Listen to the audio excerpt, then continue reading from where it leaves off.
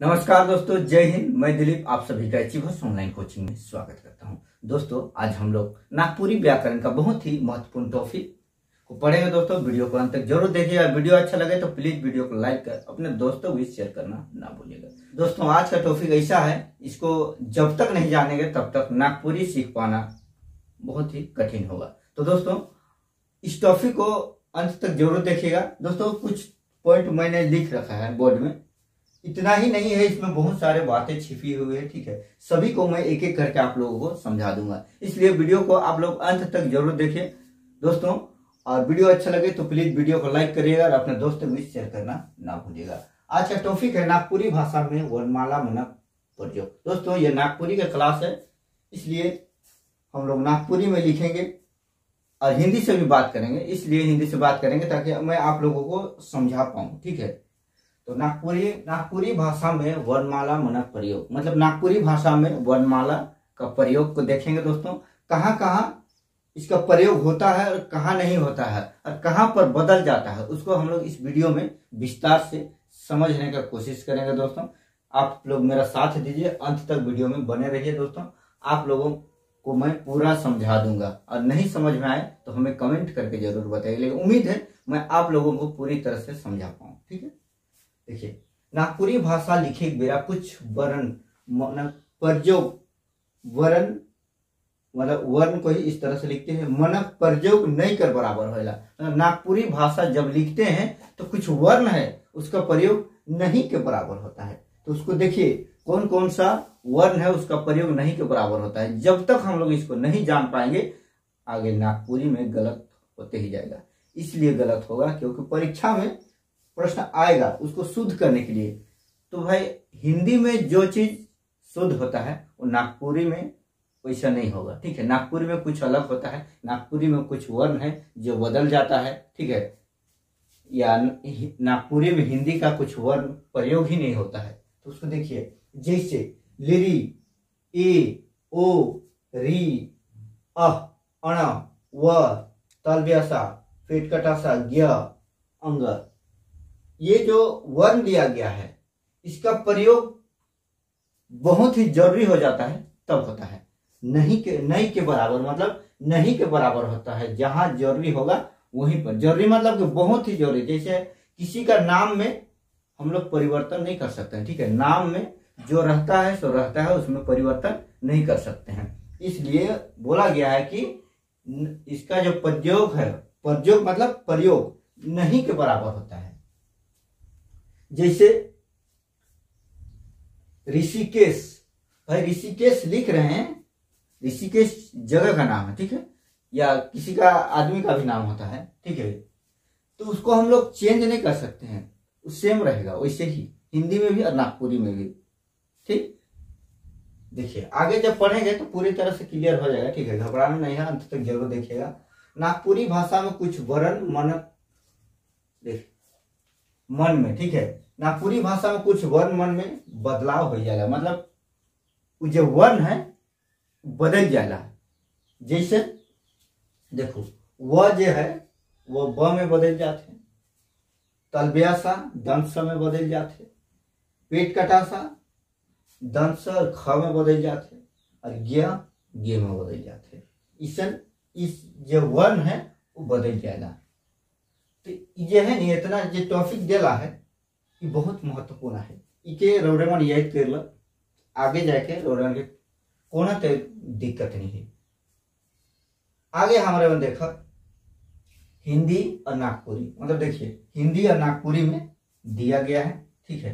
दिया गया मतलब नागपुरी में नहीं दिया गया है, हिंदी में मैंने लिख रखा है। उसी को आप लोगों को नागपुरी में किस तरह से लिखाता है उसको लिख के बताऊँगा। ताकि आप परीक्षा में अच्छे से लिख पाए। देखिए, समझिए। व का ब में हो रहा है तरबियत समय उसी तरह। य का क्या होता है? यहाँ पर छूट गया है। य यह का ज, ठीक है? यह का प्रयोग ज के रूप में होता है। जैसे, देखिए, योग्य। योग्य हम लोग कैसे लिखेंगे नागपुरी में देखिए।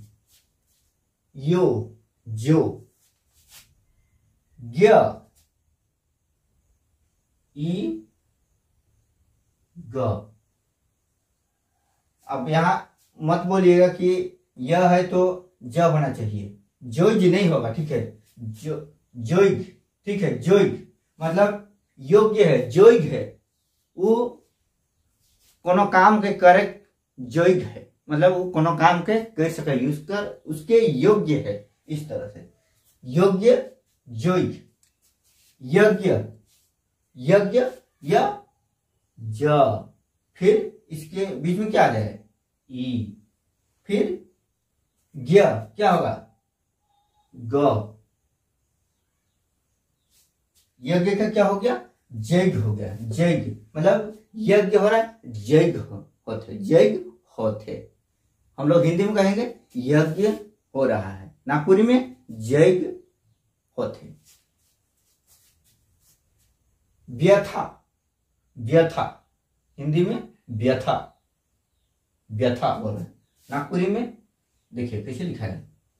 बेयथा बेयथा व्यथा नहीं व्यथा। याद याद का, देखिए सब जगह बदलाव नहीं होता है, ठीक है? उसको भी ध्यान दीजिएगा, जैसे या या का यहाँ पर या ही होगा। या जायद नहीं कहेंगे जायद नहीं कहेंगे ठीक है? याद को याद कहेंगे या, ई, द याद इस तरह से लिखाएगा, ठीक है? उसके बाद देखिए, शेष, नागपुरी में शेष, एकदम साधारण। ठीक है? सरल भाषा है नागपुरी। मैंने पहले ही आप लोग को बता दिया। शेष शेष। ज्ञान। गे। आन। देखिए अन हो रहा है ना? यहाँ पर यान। इस तरह से लिखेंगे। ज्ञान ज्ञान। ज्ञान ज्ञान। फिर देखिए। ऐसे लिखे। शिक शिक्षा शिक्षा नहीं, शिक्षा, आराम से। शिक्षा शिक्षा। इस तरह से। ये नागपुरी में शुद्ध है और ये हिंदी में शुद्ध है, ठीक है? हिंदी में ये शुद्ध नहीं होगा, ठीक है? ये नागपुरी वाला हिंदी में शुद्ध नहीं होगा, हिंदी वाला नागपुरी में नहीं होगा, ठीक है? लेकिन दोनों का लिपि सेम है। देखिए, इसी से ना बन रहा है। अब देखिए, विवाह विवाह, उसको हम लोग नागपुर में क्या लिखेंगे? बिहा एकदम साधारण। बिहा ये ब है, ठीक है? विवाह बिहा ब्याज ब्याज ब्याज ब्याज। हिंदी में इस तरह से ब्याज होता है नागपुरी में ब्याज, बेयाज। बेयाज, देखिए, ये नागपुरी में ठीक है। ब्याज, हिंदी में ब्याज, नागपुरी में। फिर व्यय व्यय हिंदी में हम लोग व्यय बोल रहे हैं। लेकिन नागपुरी में व्यय व्यय देख लीजिए। बे व्यय ऋषि ऋषि ऋषि ऋषि, एकदम। सिंपल, ऋषि ऋषि। इस तरह से ऋषि। गुण गुण गुण। यहाँ पर गुण होगा। गुण। क्षण क्षण क्षण यहाँ क्षण ये ये वाला क्षण होगा, ठीक है? उसके बाद रक्षा, यहाँ रक्षा हो रहा है ना? रक्षा। र, क, छ में आकर रक्षा। फिर देखिए, पुरुष का कैसे लिखेंगे? पुरुष का इस तरह से पुरुष भी लिख सकते हैं, ये भी सही है उसके बाद देखिए पुरुष भी लिख सकते हैं। पुरुष पुरुष इसे पुरखा पुरखा। यहाँ देखिए, पुरुष पुरुष, यहाँ पेट कटा सा है, ये हट गया, यहाँ पर अंश लग गया, यहाँ ख लग गया। ये भी सही है, ये भी सही है, ठीक है? तो इस तरह से जो वर्ण है, वो बदल जाता है, ठीक है? बदल जाता है तो इस सभी बातों को मतलब इस बात को आप लोग ध्यान दीजिएगा। तो बहुत कुछ डाउट आप लोग का मन से क्लियर हो जाएगा, ठीक है? और कुछ डाउट रह भी जाए तो आप लोग कमेंट करके हमें ज़रूर ज़रूर बताइए, उसको क्लियर करने का कोशिश करेंगे। आगे देखिए, नागपुरी भाषा में अचका मतलब अचानक, ठीक है? नागपुरी भाषा में अचका मतलब नागपुरी भाषा में अचानक, कोनो पहे मतलब किसी कारण अचरज करे खातिर कुछ अक्षर मन प्रयोग मतलब अचरज, ठीक है? अचरज करे आश्चर्य करे खातिर कुछ अक्षर मतलब कुछ अक्षर सभी का प्रयोग होता है, ठीक? कुछ अक्षर का प्रयोग होता है, उसी को कहा जाता है कुछ अक्षर मना प्रयोग होवेला, ठीक है? होता है इसे अरे अरे ये प्रयोग कहाँ होगा, ठीक है? अरे तो बोल दिए, लेकिन ये प्रयोग कहाँ होगा उसको भी तो जानना है। अरे मतलब कि जैसे कोई चीज़ भूल गए, अरे कल हमको जाना था रांची, लेकिन हम भूल गए। और उसी को याद कर रहे हैं, ठीक है, जैसे कोई सामान खरीदे, हम बाज़ार गए थे, ठीक है, अब कोई सामान लाना था तो भूल गए। अरे, भूल गए। इस तरह से जैसे अरे, भुलाए दिलो। इस तरह से जब होता है तो उसको अरे का यूज़ करेंगे, जैसे ओहरे।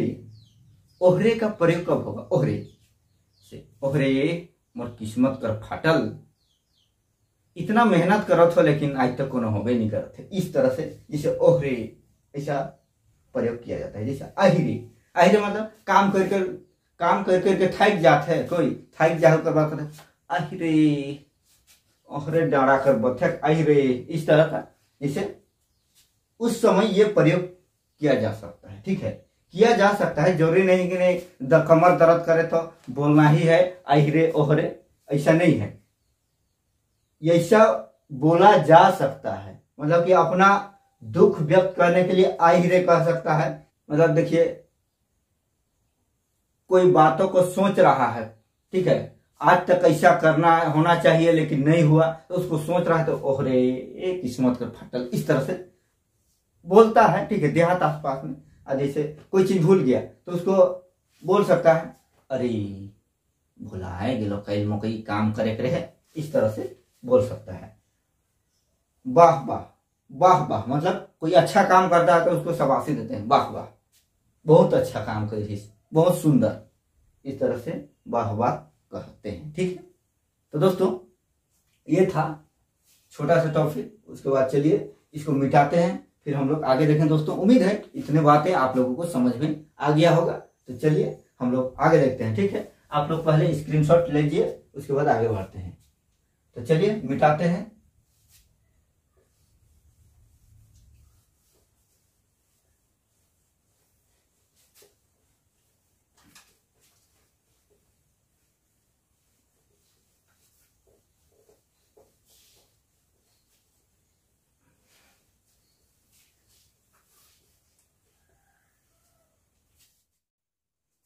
तो दोस्तों, चलिए हम लोग देखते हैं नियम चार। हम लोग देख रहे हैं नागपुरी भाषा में वनमाला मन प्रयोग ठीक है, वनमाला मन प्रयोग देख रहे हैं। वनमाला उस सब का प्रयोग देख रहे हैं। ठीक है, देखिए, नागपुरी शब्द में, नागपुरी जो शब्द है, उसमें के जोड़ के के जोड़ेंगे तो बीता हुआ समय है उसमें क्रिया बनेगा। ठीक है, बीता हुआ समय क्रिया बनेगा। ठीक है, उसी को कहा जा रहा है, नागपुरी शब्द में के जोड़ के बीतल बेरा के क्रिया बना जाला। जो समय बीत गया है, उसको क्रिया बनाया जाता है। देखिए, किस तरह से होता है उसको देखिए।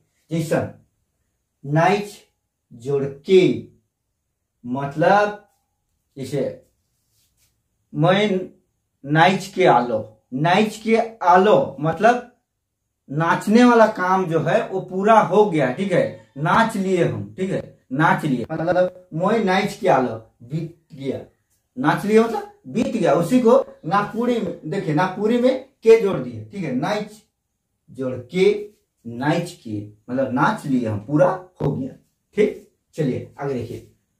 भोत जोड़ के भोत के। भोत मतलब भरना। ठीक है, जैसे एक, ठीक है, एक पुरुष है काम करने गया है। काम करके आता है तो उसका पत्नी जो है पूछती है कि गाड़ा भोथे जाए रहीस तो भोथ के आले कि नहीं? मतलब गाड़ा भोथे मतलब आयर बांधने गया होगा। आयर मतलब है, खेत का जो आयर होता है उसी को, ठीक है? उसको बाँध लिया था। या तो गड्ढा हो गया था, उसको भरने गया था। तो उसका पत्नी पूछती है कि गाढ़ा का भरे के रह सके भर क्या ले भोत क्या ले मतलब। तो क्या कहता है? हाँ मैं भोत के आ लो भोत के मतलब भर लिया है, ठीक है? उसी को भर लिया। मतलब काम हो गया। भोत के भोत जोड़ के भोत के। भोतना मतलब भरना, ठीक? छैर के छैर जोड़ के छैर के, छप्पर, छाइन। छैन समझ रहे हैं ना? छैन छप्पर खबरा छप्पर। उसको छप्पर छैर के। मतलब कि जैसे कोई काम करने गया है कपड़ा छाड़ने वाला काम करने गया है। तो उसको घर आता है उस समय पूछता पूछा जाता है कि छैर क्या ले? मतलब कोई काम गया तो उसको पूछ रहा है कि छैर क्या ले? तो कहा कहता है हाँ मैं छैर क्या लो? मतलब कि छाड़ने वाला काम था, जो छप्पर छाड़ने वाला, वो पूरा कर लिया है, छाड़ के आ गया। ठीक? उसी को छैर के। कोड़ के। कोड़ना मतलब गड्ढा खोदना। ठीक है? जिससे